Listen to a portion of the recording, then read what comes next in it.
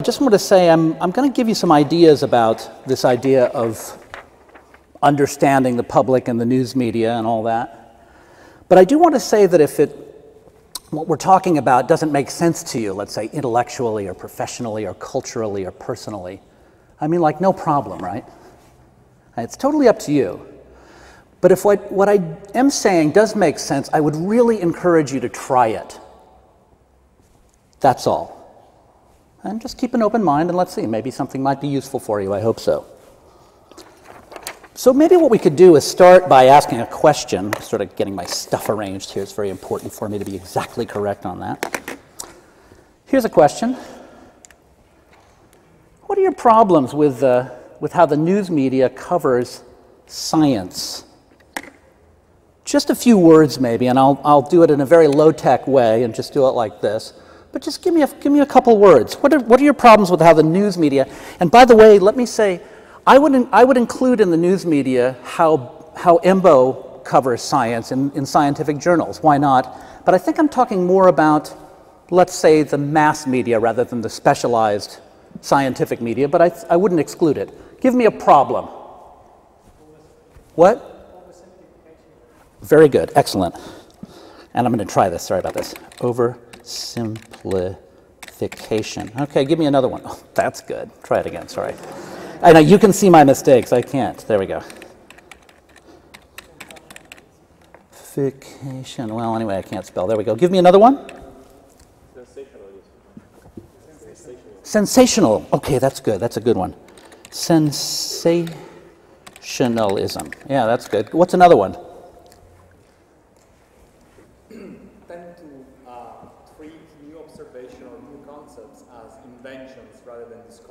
Okay. Inventions over discovery. Give me another one. Anybody, it's okay. What do you hate the most? Science versus technology.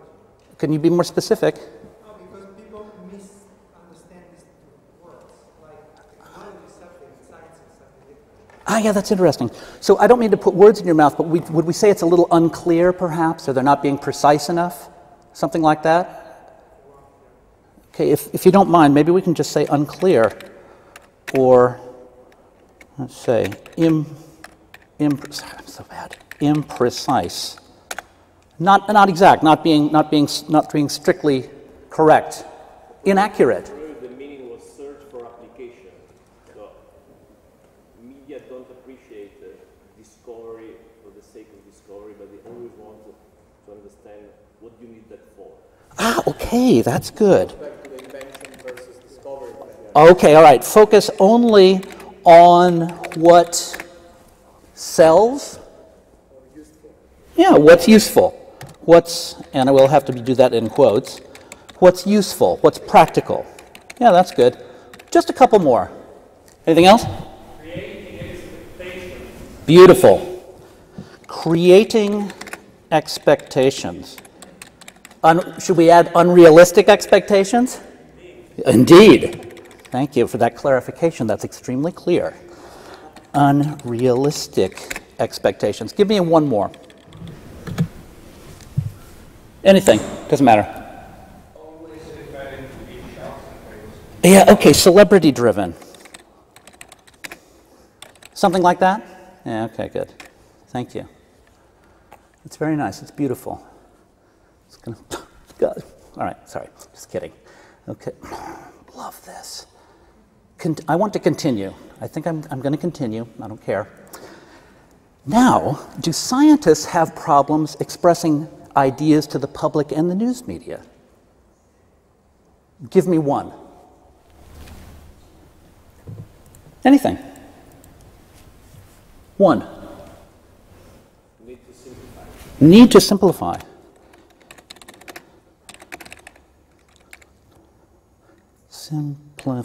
Okay? Give me another one. Other than that, there's no other problem. Yeah, I know. Just maybe there's just too many. Just pick one. What language? What about the language?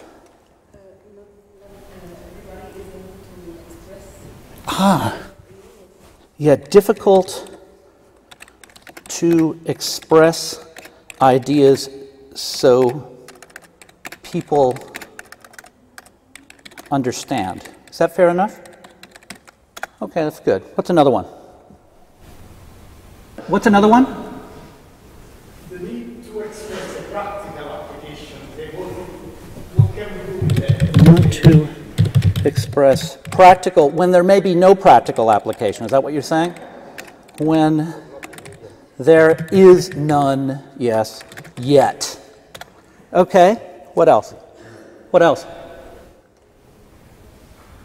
Anything? Nothing. I'll add one. Jargon. You know what I mean? That's as opposed to technical language. Technical language is precise. That's useful. Jargon is language that's used within closed societies like institutions, which has no meaning to anyone outside the institution. Know what I mean? That's not useful. In fact, that's useless. Anything else? Nothing else? Do scientists want to get published? Bernd? I think so. Yeah, they want to sell. So, just as a comment, just really quick, let's see if we can do this. Again, my, my technical skills are limited. Let's copy this, put it here, do this. Oh, God.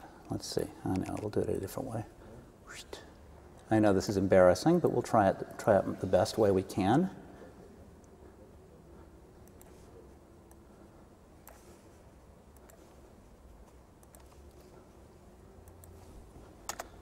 All right, let's check it out. Well, certainly I would say that, yeah, the news media can. Oops. Hmm. Um, is this one working? Let's try. Yeah, oversimplifying. Oh, interesting. Need to simplify. Uh, sensationalism. Oh, yeah, well, actually, we do want to sell. Uh, unclear, imprecise. Well, we're actually, it's very difficult to understand us. Uh, focus on only what's useful. Want to express the practical when there is nothing yet, okay? So you get what I'm talking about, right? The point is, is that maybe there's more in common between those two between those two sides or those two groups than can I grab one of those? Is that that's a good one, thanks. Excuse me. Thanks, sorry. Yeah, so the point is maybe we have a little more in common than we thought. That's the point. That actually we're, we are connected by our common humanity rather than our profession. Possibly. If you want to call journalism a profession, that is, I'm not sure.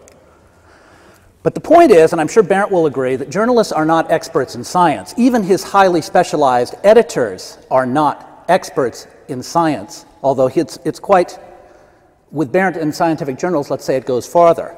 And by the way, the mass media journalists aren't either, and neither is the general public. Who is the expert in science? Who? Yeah, you. That's right. And the public and the news media expect you to be. They expect that. Nobody's going to help them if you don't. So, to communicate effectively, and that's our theme today, it's, it's really essential that you express your ideas clearly, especially in terms that your audience understands. Now, that sounds so obvious and so simple, but that's really the point.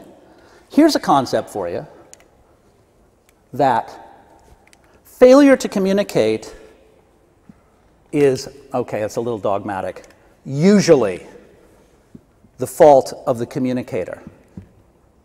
So if you have a problem with your results, how much of that is your fault? I would like to ask. Now, my talk today is going to be on two levels. I'm going to talk about some theoretical things. And as an American, naturally, I'm against all things theoretical, right? But we do need a little bit of theory to underline, underlie our ideas. And then most of what I'm going to talk about, I hope, will be practical things that you might be able to use. Here's the first one let's say that science is obviously going through a very challenging period right now. Valid questions are being raised about the value of a lot of your work, especially the value of translational research over basic research, which may have incremental or even no results after many years of uh, testing, of, of funding. And the clear trend today is that funding for science is moving away from public money and more toward private funding sources. So scientists can no longer assume they will get funding simply because something interests them, or more to the point, provides them with job security. Just saying, because I am interested in this, it should be funded, gets less and less convincing every day. And Bernd's presentation showed us very well that as competition for these limited research funds increases, it is inevitable that projects that cannot be clearly explained in grant proposals, excuse me, that projects that can be clearly explained in grant proposals have an edge over those that cannot be. And that is already happening. Proposals that seek money for very limited goals, or even for what some people might consider trivial research, gets funding, while more complex projects don't, simply because the former is easier to describe and uh, explain to donors. Now, that does not mean that what you're doing is not valid, quite the opposite. What you're doing is valid. What it does mean is that you now have to be much more thoughtful in explaining why scarce resources should be diverted to your project instead of to someone else's. And obviously, that is not easy, because what you do is not like that. It's more like that, and like that, and like that, and like that, and like that. All right? So I agree. What you do is complicated. All right? Fine. I agree. And you might say there's no simple answer. You might say there's no answer. No answer at all. In fact, there won't be for many years, which is valid. So let's say to you, the process may look like this undiscovered lands, you know. On some days, maybe it looks like that, you know, road to nowhere, right? But maybe that's a bad day. But my comment to you is I think the public is thinking more like that push a button, get a result. And that is especially true when it comes to that a highly emotional issue like cancer. So, my view is that there's a big gap between your reality and the public's expectations. And my question is how much of the, that gap is your fault? First, recognize, if you would bear with me, that most people don't know anything about what you do. Nothing. Very little. Or they're confused. I mean, in general, that's, I believe, because we're not communicating very well as members of the scientific community. Here's a question I would challenge you to name 10 scientists who are known to the general public. How about 10 Italian scientists? And compare that with performers, with athletes, with business people, with bankers, with politicians right? Now, why is that? I don't know. My own view is apparently scientific culture does not encourage that. I'm not sure if it's important or not, but maybe that's a worthwhile question to consider. And your challenge, and I think the source of a lot of your difficulties in this area, is that the general public doesn't know anything about what you really do and how you do it. They only know what their values, their culture, their friends and family, and the news media tells it. That's all they know. Because you don't communicate it so well. And also consider that a lot of times, you know, scientists don't even know the probabilities or risks themselves. And maybe they're not as forthcoming about that as they should be. At the very least, you know, Scientists don't generally express themselves very clearly, and that leads to the biggest question of all Ready? That's right. Because the public knows that science has given us miracles. No question. But science has also given us nuclear weapons, chemical weapons, environmental pollution, climate change. All right? So I would suggest it is not a given that people should automatically trust science. Why should people automatically trust scientists? Why? All right? Okay, now, here's the theoretical part. Sorry, and I don't mean to get into too much jargon, but I think it's useful to have a little bit of theory to underlie our discussion. Effective communication. Nice words. All right? Here's a tip for you there's a word, and that's a word. Well, I've got news for you. Information is not communication. communication is perception. It's about how the audience hears what you're saying. I'll give you an example of this. Um, I have to step away from the microphone for a minute. Uh, Johnny, that was a great dinner last night. I enjoyed the mussels. Johnny, could you hold that for me, please, just for a moment? Thank you. The second one was communication. Communication demands a result, an action. Information does not. And that's why we have this incredibly endless capacity for sports scores and celebrity news and, and you name it, recipes. Why? Because it demands nothing. It's totally trivial. So it's easy. But communication is hard. What it means is it's not what you know, but how you express it that is decisive in whether your audience understands it. and that doesn't mean that they believe you. That's a different issue altogether. It's just about whether they understand you or not. And that is very, very, very tricky, especially if you know a lot about your subject.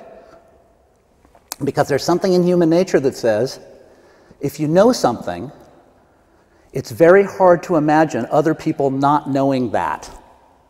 That's just the way it is. That's right. That's why so many experts and scientists have trouble communicating, or they don't communicate so well. So, what's the solution? I have an idea for you. Expressing ideas, expressing ideas in terms of shared values has impact on audiences. Now, shared values, this is again the kind of the jargonistic theoretical thing, but shared values um, are things that we all share as human beings. So let me ask what is the number one shared value, would you say? These are things we all share as human beings, not just scientists or other professionals. What's the one, number one shared value? Well, I'll give it to you. I think the number one shared value is I think it's fear of death. It's my number one, I would be, believe. I think that's reasonable. But shared values also include things like these, like hopes, dreams, stereotypes and preconceptions, disappointments, culture. You know, we all have these things as human beings. It doesn't matter what we do. Religion, all those things. All those things. Now, the idea is, is if you can frame your ideas in terms of the shared values of your audience, you have a better chance of getting them involved, engaging them because they think, oh, he understands me, she's talking to me. But the key concept is that different groups of people have different sets of shared values. For example, what are the shared values of the news media? Give me one. Hmm? Audience. Audience. Oh, beautiful. Thanks, Stefano. Health. Health. Yeah, that's good. But I like this one, audience. I'll just go ahead and go forward. Yeah, audience. They're very competitive for audience share. Here's another thing about the uh, shared value specifically of the news media. They're very skeptical of government, business, and institutions. Do you know why that is, by the way? Experience. That's why. Yeah. Never trust a public relations person is a common attitude among producers and editors and reporters. News is both public service and big business, as I think Bernd will attest. And they are very aware of their audience. That's right. So they work to program to that audience. All right. What are the shared values of the general public? Here are a few ideas. Something that touches their lives directly. So it's not like the news media, they have a different priorities, different things that are important to them. Something new, unusual, breaks stereotypes. That's interesting for them. An unforgettable image, sound, or moment. Humanity and human emotion works for the general public. What are the shared values of donors? Donors to your projects. Well, these are a few of my ideas. Tell me what are your goals and targets? What am I paying for? what result can I expect? What is the, what are the scope, what is the scope and what are the boundaries of your accounting? Again, very different. Here's a good one. What are the shared values of scientists and researchers, your colleagues? Well, these are my ideas. You can disagree, obviously, it's a free country. Competitive, humanistic, careerist, image, reputation, highly valued. Problem solving and innovation is important. Evidence over emotion, cautious. Insular. You know what I mean by that? Stuck in a bubble? Yeah. And can be overwhelmed at work. So the idea is is if you frame your complex idea in terms of the shared values of a target audience, it's very useful to help that audience understand what you're talking about. Again, whether they believe you or not is a completely different subject. So, like this take your idea and sort of build the shared values of your target audience around that. That's called proving relevance.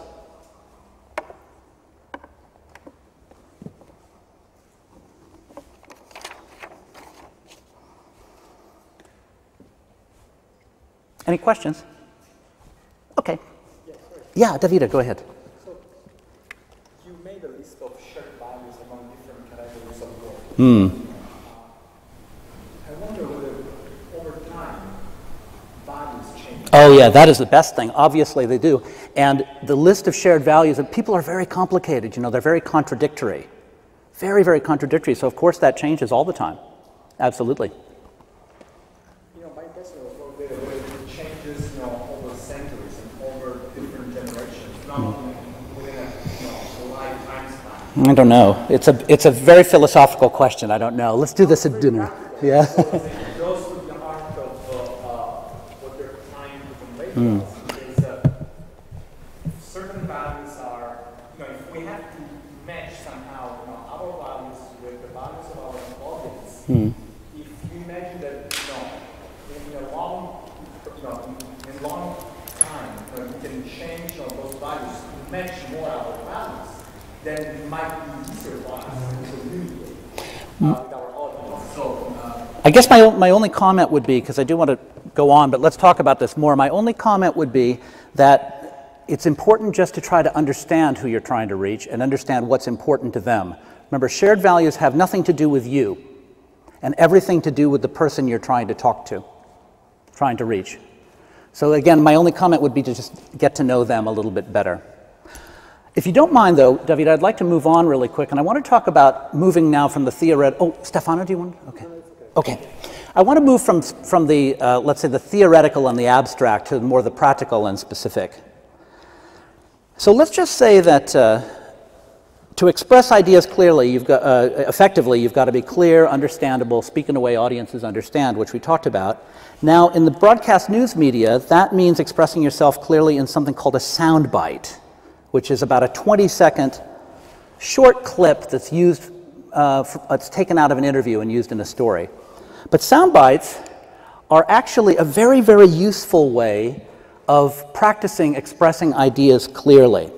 It's a good way to find techniques to express ideas, complex ideas, in, a, in an effective way, I think.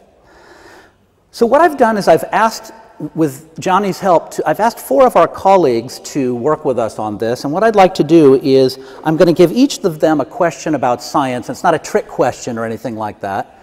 And I'm going to ask them to just write down how they would respond, but I'd like to ask them to write it down. Um, actually, let me explain it. So, uh, if you guys could get together, it's Davida, um, Stefano, Katerina, and Serena. Could you come and just sit right here in the front, please?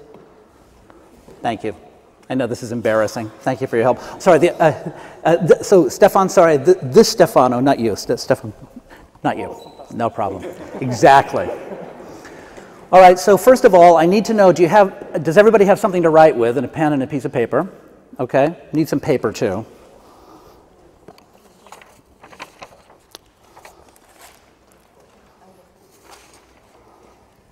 Thank you.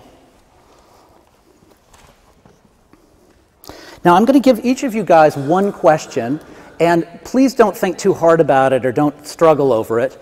But I would like you to write down your answer. You don't need to spontaneously say it. But what I'd like is, is I'd like your answer to be no more than a couple of sentences, please. Okay? Or three, three sentences is okay, but let's not write a speech. Okay? And each of you will get one question. And uh, just again, write down your answer, take your time. So I'm going to give each of you your question. Are you ready? Okay, Stefano, you're first. Here's your question. Okay, again, just to remind you, this is what it is. And I'm actually going to ask your colleagues to read your answers. By the way, what this is about is just simply to identify patterns of what works and what doesn't. Are there ways to, to see if we can identify components of effective expressing ideas effectively? Let's find out. Stefan, that, uh, sorry, yeah, Stefan, that's your first question, please, Stefano. Go ahead. Why should anyone fund what you do? So you can go ahead and write that down. You got it? If you, you can want to write down the question, you can. Maybe it's more useful. Again, very basic, fundamental question, not a trick question, nothing like that. Why should anyone fund what you do? Okay, Serena, you, have you got it, Stefano? Okay, yes. thank you. Serena, here's yours. What is the relevance of what you do for the general public? Davida, I know. And Serena, are you ready? Can I move on to the next one? Thank you. Okay, Davida, why should anyone trust science and scientists?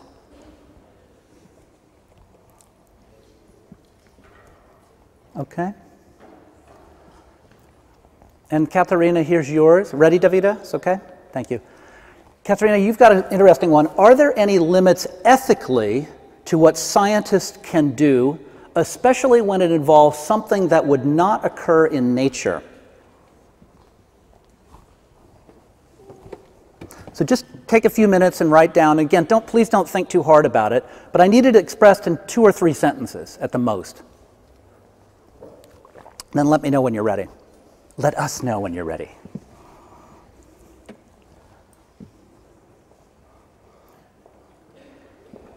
So, Eric. Maro. After Bernd has taught us that uh, we cannot uh, even uh, change brightness and contrast mm. on a gel and be very fair without submissions, they are now teaching us on how to trick journalists and media and donors. Mm. Actually, I don't like the word trick, but I think the media, the journalists and donors, they need to hear you. Remember that this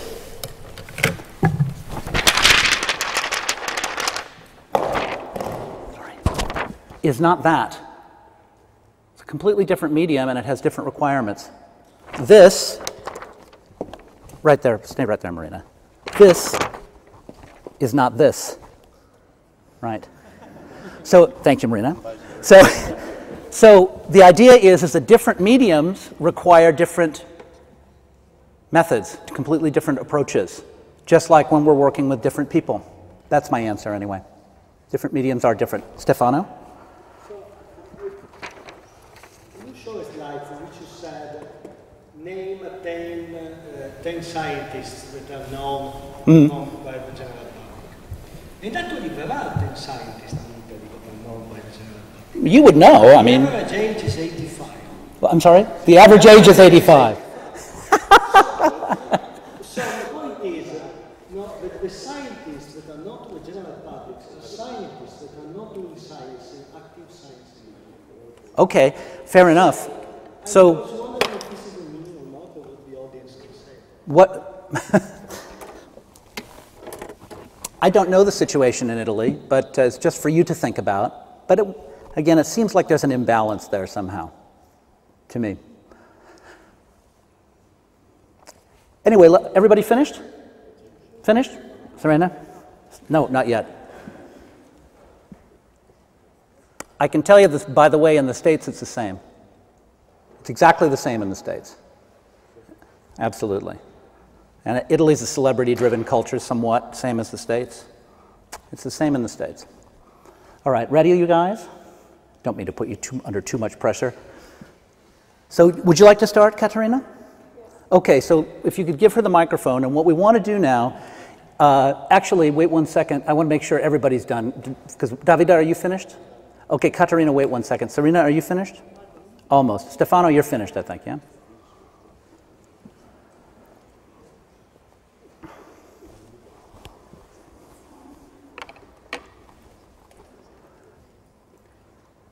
Okay, Stefano, let's start with your question first. I'm going to go back, back uh, there to that. And would you please hand it to Serena and have Serena read it, please? I'll read the question. The question is Why should anyone fund what you do? Because our work may advance understanding of embryonic development, disease, and reveal means to tackle cancer and improve patients, Okay, all right. How was that? Did you like it? Let's put it another way. What did you remember? What words did you remember? What? Patient survival. Patient survival. What else? That cancer. Patient survival. That's interesting, isn't it? How anything else? What? Embryonic development. Very good. Anything else? It's interesting that what was that what most people said, just as very random thing, was patient survival in cancer. How many people in this room were patients or know a patient? All. All. Shared value. That's a shared value. Cancer. What's that figure? One in three? Right? As everyone knows. One in three of us will be touched by cancer at some time in our lives. Shared value. That's why it works. It's very good. Okay, uh, Serena, hand yours to Davida, please, and we'll see the uh, question again. The question is What is the relevance of what you do for the general public? You read hers, please. Uh, I'm trying to find novel therapies for common diseases, such as myocardial infarction, neurodegeneration, diabetes, for which current medicine cannot do much. And I want to understand how the human body can get sick in order to cure it better. What do you remember? Human body, and maybe not just the words, although the human body is good, Valerio, not just the words. Wh- What? I'm trying. I'm trying. Anything else? Yeah, exactly. I'm trying. Anything else? Do, it, do it better. Cure it better. I'm trying to cure it better. What is that? That is passion, compassion, enthusiasm, commitment, involvement, etc. It's nice. Okay? Davida, hand yours to Katerina.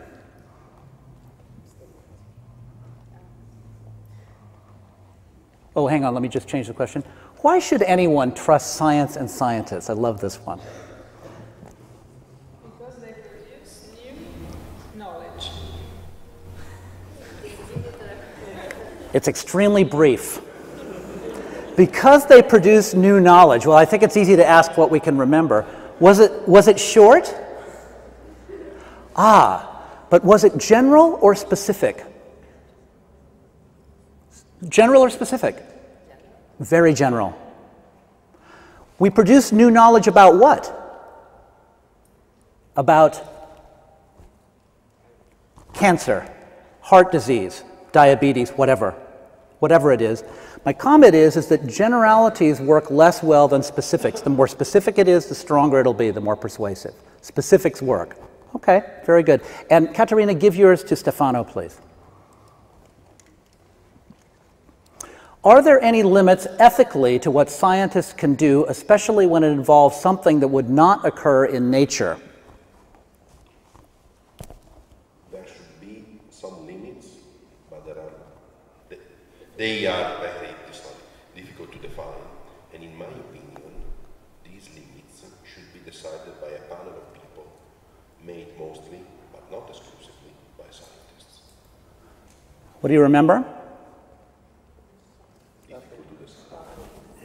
Difficult to define. What else? Now, this one, again, this, by the way, this is not about anybody's work, and that is a tricky question. It's not a trick question, it's a difficult one. This is a common preconception I think a lot of people have about science. They're just screwing around, those people. They're freelancing. That's what the whole debate in Europe over genetic, you know, GM food is all about. They're just, they don't really know. So, in my view, this is the kind of question where you've got to have a much stronger answer and nothing about our group. Actually, it's not just scientists, civil society has a place in this as well, right? Actually, yes, we feel very strongly about ethical limits, et cetera, et cetera, okay? Just as a comment, I don't mean to hector you, but that's a really tough one, and a really, that's one I think that we really need to think about in biological science. All right, first of all, thanks to our group.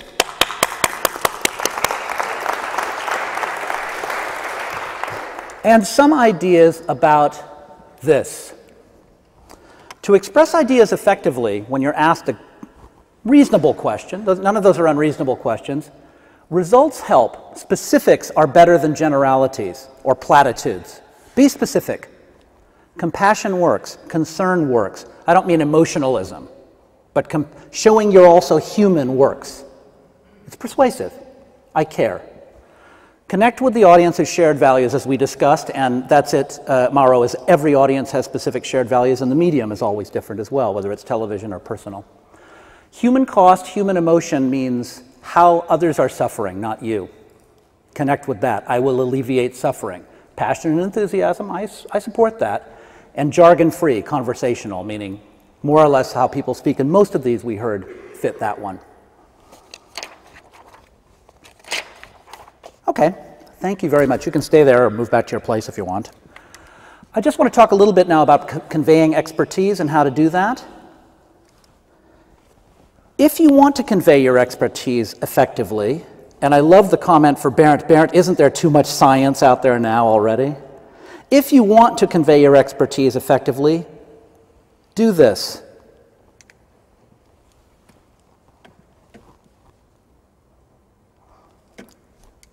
Think in advance what you want to say, and here I think is a key. Think hard about what interests you personally. And I don't mean, you know, I mean personally, professionally. Even if it's like the most minor thing, it seems minor. Don't, don't get involved in your preconceptions or anything. If it interests you, it's interesting, and I will guarantee you it will interest an audience. I guarantee you. Try it. Ask yourself, what, why did it, what, what interested me about that thing? Now, context is obviously important. A common perception, I think, is, you know, God made these things.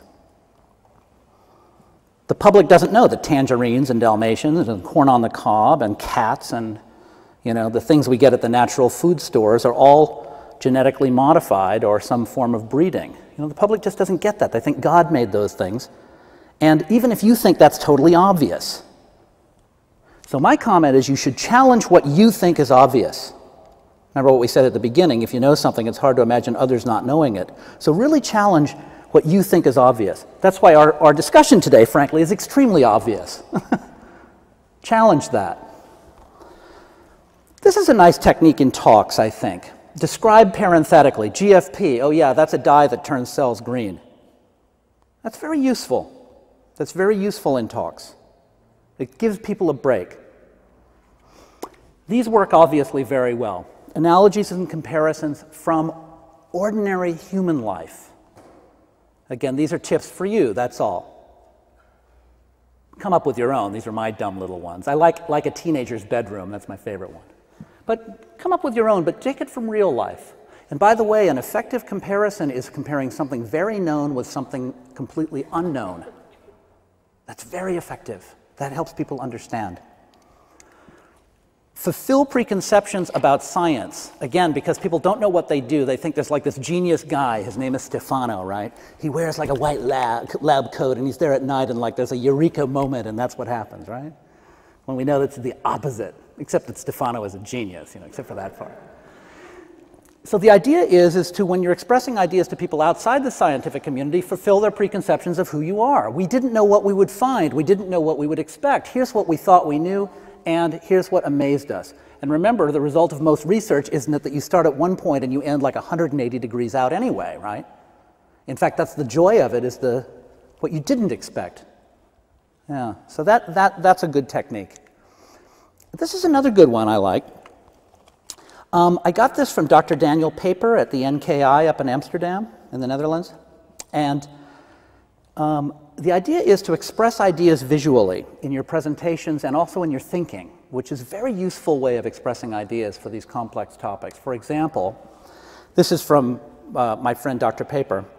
How would you visually explain the transition from this, that's a normal mole, to this, which is an abnormal mole? Well, his idea was this. Yeah, right. Now, as he explained it to me, you, you guys have to know, I, I'm not an expert, but this was his explanation. He says that every mole actually has the potential to become a malignant melanoma, but most never do because that's because a mole is like a race car with both the accelerator and the brakes on full all the time. But when the brakes come off, the accelerator takes over, and that is the beginning of malignancy. Now, I rather like that. Um, and let's just say that thinking in pictures can put you off balance, and I would say that's very good. I would say that's quite good. It's a different way of expressing your ideas. And it challenges you to rethink, to be more creative, I think. So, just as a suggestion, just try it. That one you can take or leave, but here's one I insist on. Create a simple presentation designed for audiences who don't know who you are, what you do, or how you do it. Minimize the slides and don't do it from an existing presentation. That never works. it never works, right, Johnny? We know. It never works. Do it as about a 20 minute talk maximum and leave a lot of time for questions and answers. And then, as far as you are comfortable, do it, express your passion and your humanity, why you got in to do this, why, why you're doing this. And you know, we have these science and society uh, uh, initiatives, EMBO is a big part of that. I totally support that, obviously. That's why I'm here today. And it's not for inside the insular scientific community, it's for everybody else in the world. I really recommend this. Okay. Now, now we're going to go really far afield from science, and we're going to talk about this word. As I mentioned earlier, um, it's enough to express your ideas so people understand them, but how do you, uh, a much tougher problem is persuading people, bringing them around to your point of view, particularly people who may not be interested or actually may, may totally oppose your ideas, you know. Yeah, that's right. So, how does that work? I'm not going to tell you how to do it because I don't know, but let's see if we can find some of the characteristics of what is persuasive. First of all, who is persuasive? Just pick someone. Who's persuasive? Hmm? Okay, like that guy maybe. He will, in his prime, I think, very much so. Here's another one. Also reasonably persuasive. May have faded a bit, but I think he's still going well. Know who that is? Very persuasive guy moral authority, and much more. You know who that is? Mrs. Bhutto. Also very persuasive. That picture, by the, day was, by the way, was taken the day she was murdered.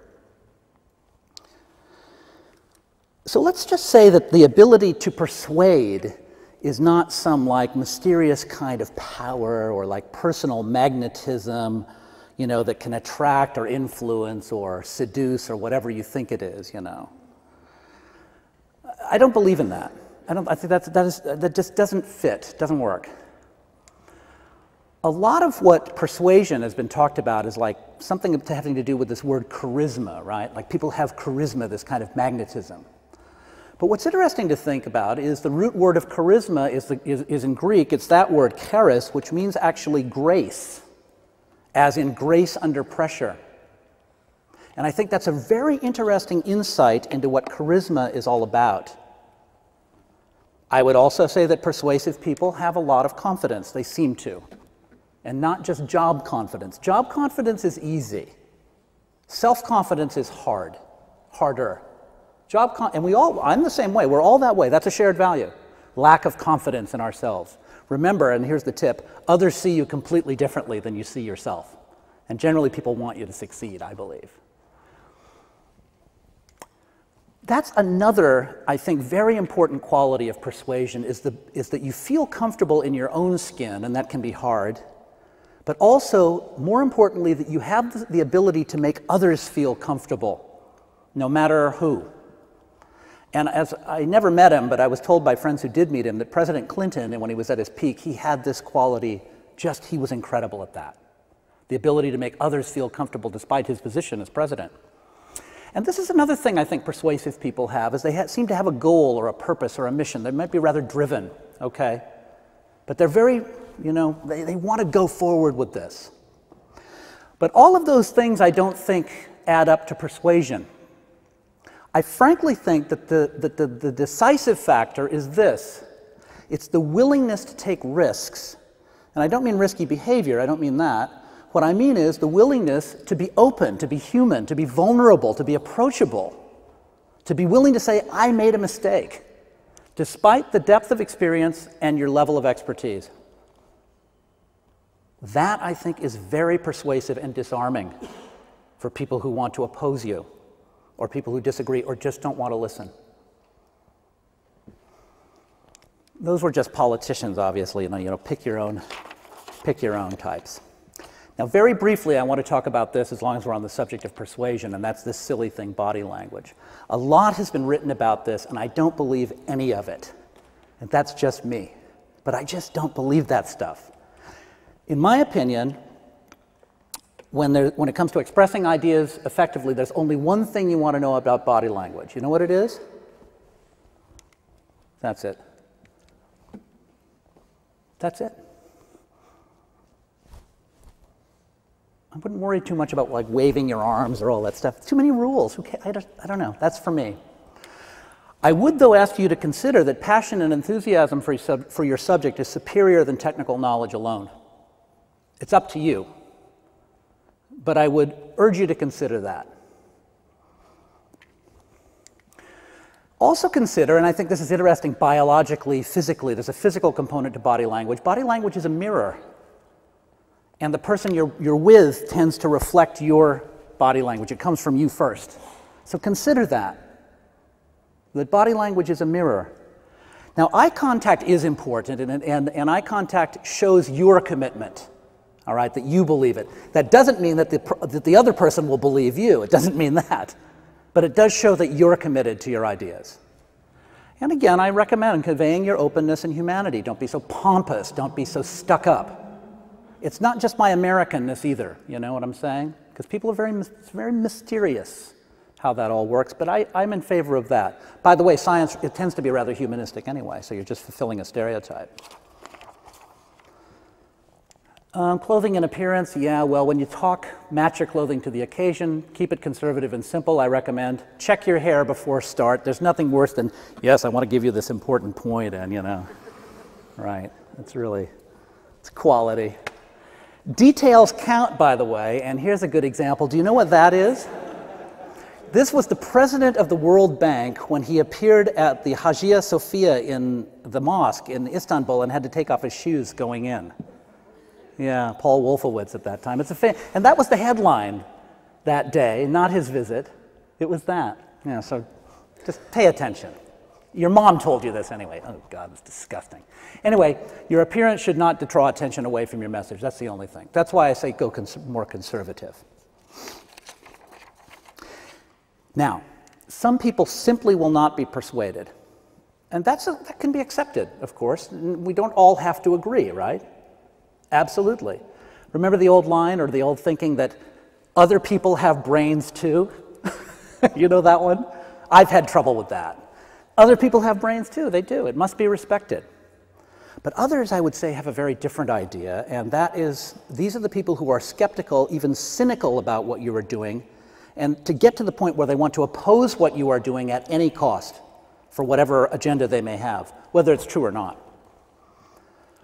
So, here are some tips for responding to that. And my, my, my main comment, and I'm happy to talk about this more in detail, is you've got to give it back to them like they give it to you. Don't go, well, I'm above that. That, pl- that plays into their worst instincts. Don't do that.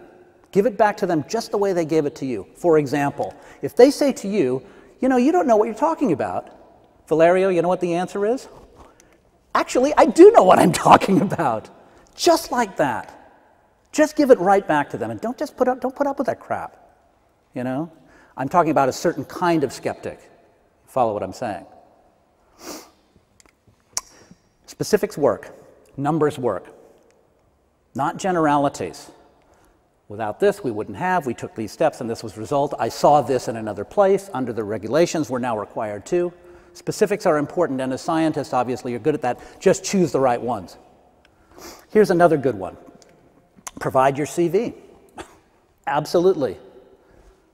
Tell them why you are qualified to speak on this. Tell them what you have done specifically. Tell them what you have seen others do.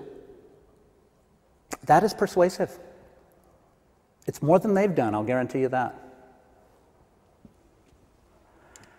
And this can also be very persuasive, the, com- the combination of humor and self assurance, if you're, if you're up to it. That can also be very disarming and very persuasive, if you can do it. One other quick point before I go to our conclusion. This is an interesting idea, and of course, this is coming rather from my, my side of the planet, so I want to throw it in though because I think it is useful. What could storytelling possibly have to do with science? That is a, you know, obviously nothing, right? But first, let me ask you the question what are the three parts of a story? What are they? What are the three parts of a story? What are the three parts of a story? Sorry. Beginning. What else? Middle and end. Remember that? Yeah. This is narrative structure, character conflict resolution. Well, that is a shared value, by the way. That's very, very deep. Yeah, you're thinking too hard. See, that's it. That's very, very deep in society, not only in Western culture, but in world culture. And um, that's a very, very, and we know in the television business, that's a very efficient way for expressing complex ideas. That works because audiences like that. That works. Now, I'm not talking that your, your paper shouldn't be like that and nothing like that, but possibly within a presentation you could use this. But here's what I mean by that. Keep in mind, just as an open mind, that stories are never about big issues like cancer or diabetes or heart disease. Never. Never. They are always about how ordinary people are affected by big issues. See the difference? And that's quite resonant for audiences. So if you would like to find a little story to tell in your presentation or in your discussion or in your discussion with donors, don't ask what the story is about, ask who the story is about. And I'll tell you, for the general public, what makes a compelling story for them? Humanity and human emotion, something that is new, unusual, or breaks stereotypes, an unforgettable image, sound, or moment, something that touches their lives directly, and this stories and storytelling. Ordinary people affected by big issues, ordinary people reacting to or- extraordinary situations, something that makes the audience ask, What if it was me? Why is it we have to look at a car accident? Why is it when we're driving past we just have to look? Why is it? Because we all know what it's like to be in a car. Why did September 11th have such tremendous impact around the world other than the crime itself? Because I think most people know what it's like to be in a jetliner, and everyone knows what it's like to go to the office. And when you bring those two things together, what if it was me? That's what I mean.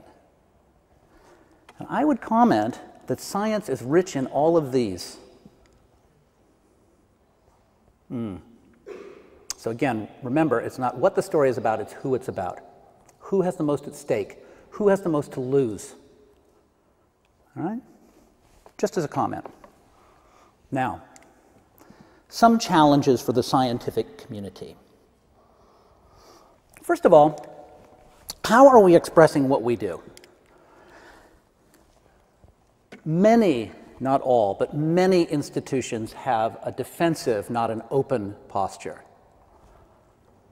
Many scientists, no one in this room, no one in this room, I might add, but many scientists use jargon and are simply inaccessible. I'm above this.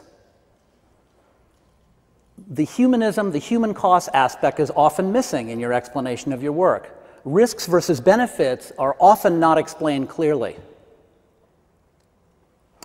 And often the relevance is not explained clearly. Who is expressing what we do? How many scientists are public figures? Why?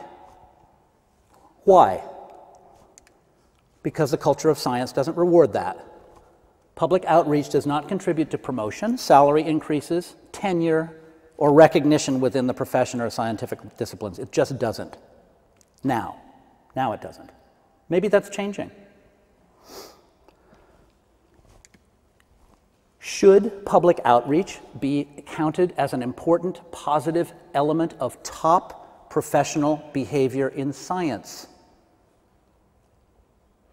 Paul Ehrlich of Stanford believes that all scientists who are at that very top level, the top level, should tithe 10% of their time to this every year.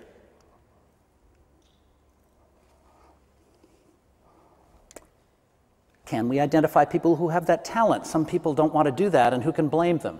But the people who do, should we develop them? Should we develop that talent?